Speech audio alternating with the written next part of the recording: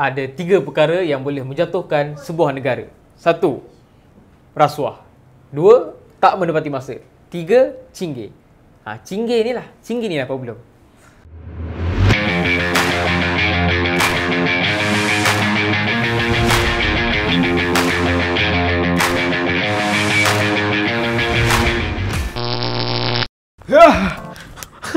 Okay, kita kembali dalam perancangan Apa Kau Kisah? Seperti biasa, kita membincangkan topik-topik hangat. So, uh, benarlah apa kata dialog Jijo dengan Slash dalam Bro O iaitu pasal cinggir di mana before ni maybe orang ingat oh dia buat lawak aje tapi hari ni berlaku di mana pagi tadi iaitu pemilik kelab Johor Darul Takzim Tunku Mahkota Johor memuat naik sebuah bukan sebuah lah memuat naik story di IG di mana kan aku dah kata. Ah dia kata macam tu lah. Kiranya pasal dah kemaruk sangat nak kahwin paksa boyfriend kahwin and then patutlah player tersebut punya performance dah hancur and then dia punya kepala dah tak ada dalam padang. Macam tu lah lebih kurang. Kemudian uh, Tunku Mahkota Johor pula memaknai story di IG di mana ia merupakan macam ni eh? Ia merupakan conversation WhatsApp lah di antara beliau sendiri dengan player itu di mana player tu ramai yang kata Safawi Rasid lah sebab kita boleh kaitkan dengan performance dia tiga previous match ni iaitu semalam lepas tu lawan Kedah dengan lawan Visa Kobe lah di mana dia punya prestasi tak memerangsangkan eh ramai juga orang yang mengecam lah kenapa Pawi main macam ni semua And ada satu tweet ni yang menarik perhatian aku dekat Twitter. Dia tulis, oh patutlah performance Safawi dah mendata. Rupanya tulang rusuk bergetar.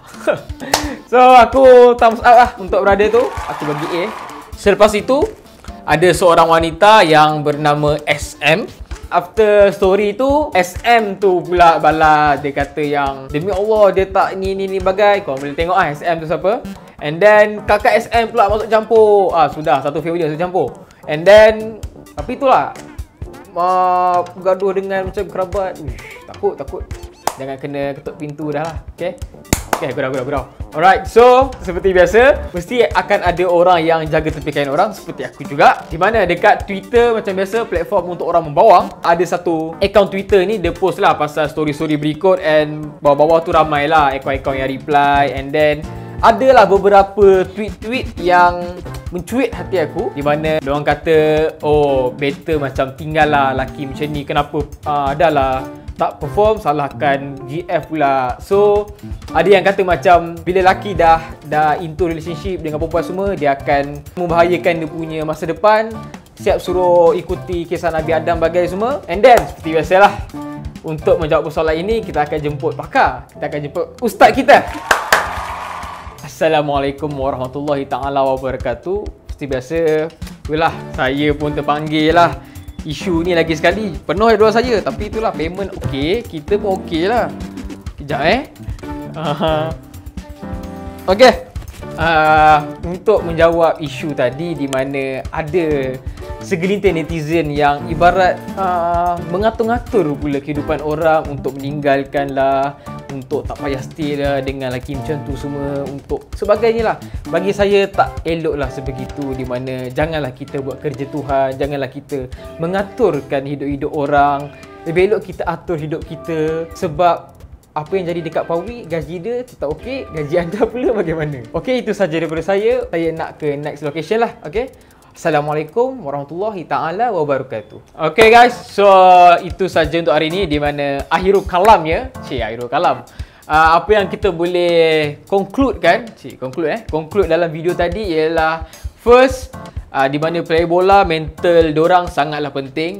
Tak kisahlah kau train hard macam mana pun, fitness kau top ke apa ke, tapi kalau sekali mental up, benda tu akan kacau the whole performance sebab Yalah, orang perlu fokus dalam game orang And then kita pun sebagai fans bola Kita perlukan Himat Safawi lah untuk kita punya Kelahiran World Cup Upcoming ni lah. Ada tarikh dia bila aku tak ingat. Untuk Safawi Rasid Anak kelahiran Terengganu Cik saja tak nak suruh jadi tu Okay uh, Aku tahu kau tengok video ni Cik yakin cik? Cepatlah kembali on form Sebab rakyat Malaysia semua perlukan anda Untuk kelahiran World Cup. Di mana kita tahu Pawi akan wakili Malaysia And then Pawi pun MVP kita punya Liga Super. Kita sangat-sangat memerlukan khidmat beliau supaya performance team pun bagus semua. And then Tan Cheng Ho pun tak risaulah kalau Pawi ada masalah ke apa. Ramai yang beri pandangan, komen semua.